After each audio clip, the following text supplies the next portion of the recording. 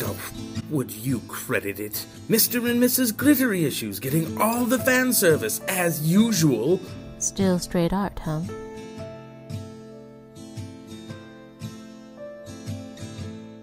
So, So, Erik tells me I should be counting up your brownie points.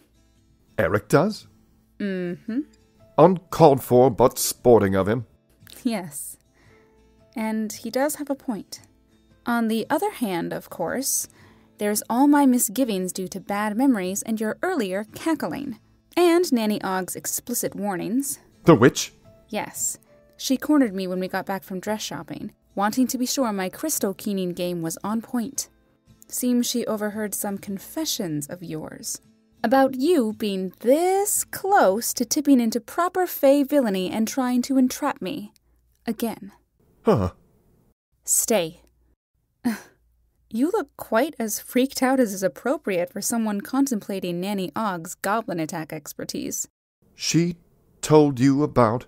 Yeah. And, you know, frankly, it was a nice change to have someone else taking all this seriously and confirming I am not completely paranoid about you having a bit of a dark side. Christine was starting to really get to me there. Like, no duh, you're dangerous still. But you came. Yep.